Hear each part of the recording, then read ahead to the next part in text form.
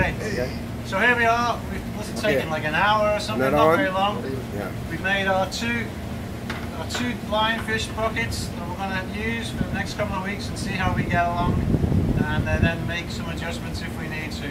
The next Total- one? Total cost for the bucket, and we, we bought the bucket, so these come in under 20 bucks with a handle, cable ties, and a funnel. If you get the bucket from the engine room, it would be like $10, so very cheap. No need to spend all that money on a zookeeper.